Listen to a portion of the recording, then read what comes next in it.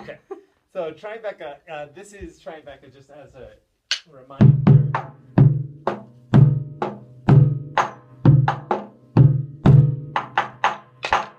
It started with the idea that I could come up with a lot of different ways to move for a little rhythmic snippet, which was.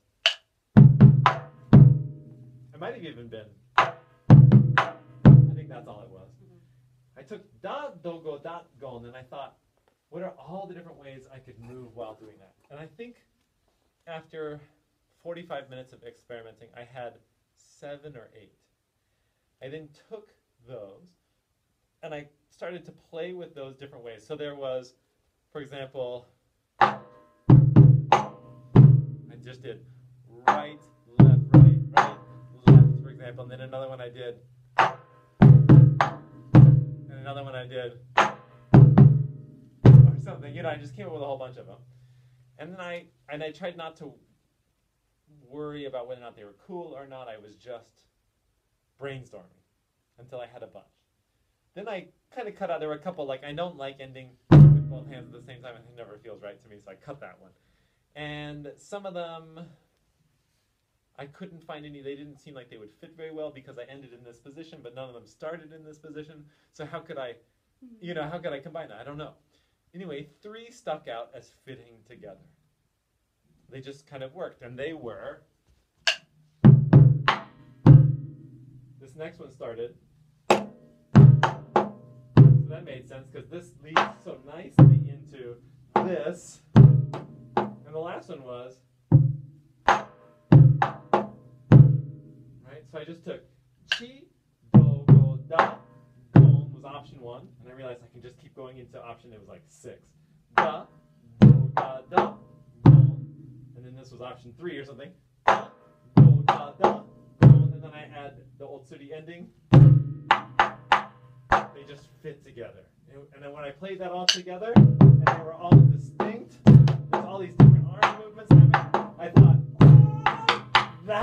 way you do choreography. You just come up with a snippet, and then you come up with a whole bunch of different moves, and you combine it all together, you find the ones that work, and you've got it. Well, I did it again, and it didn't really work. I mean, it didn't not work. I, I started with some other rhythm like, or something, you know?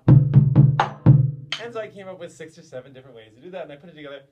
It was kind of the same thing as Tribeca, and it wasn't as good. Like, it didn't work. I was so excited. I thought, solved the problem of taiko choreography. I've got it. The process is ABC, but it really only produced Tribeca that I Now, I could keep doing it, and there might be something even better than Tribeca lurking if I kept doing it. But it only got me that far. I think any one concept will get you something really great if you just keep pushing at it. You keep trying it from different angles. You will come up with something, but that's never the whole ball of wax. The next one was Krankheit. Mm-hmm. And Krankheit was the exact opposite. Instead of starting with rhythm, Krankheit happened after I saw a performance by, um, what's the name of the group? GRV is a dance group. And I think it I can't find very much about them online, but they won the World of Dance competition the year I saw. They were so fantastic. They were so beautiful. Hip hop dance, choreography, huge troupe of people dancing.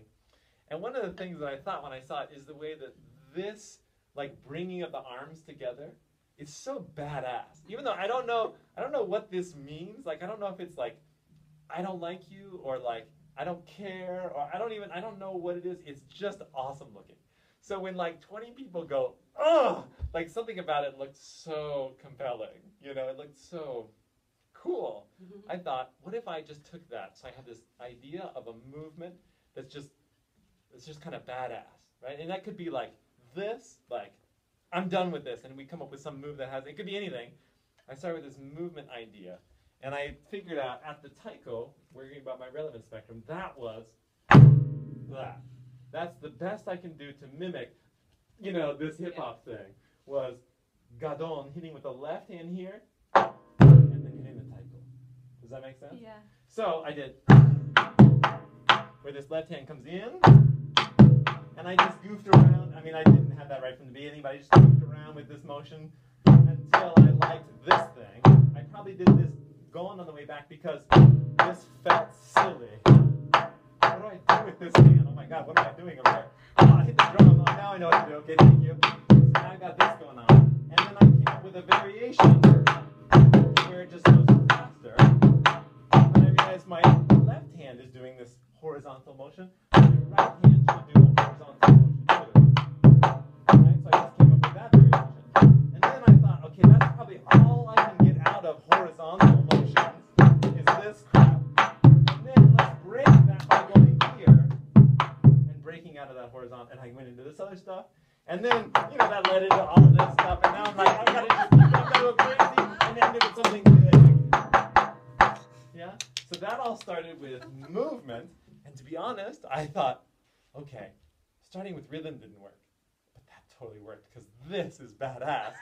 so I went back and I watched GRV videos and I found other things that were like badass and I could not translate them into taiko. It like didn't it didn't work. So again, that idea only worked for me once. Now there's more there. I think I could find more. Especially now, I'm actually going back and doing more of that.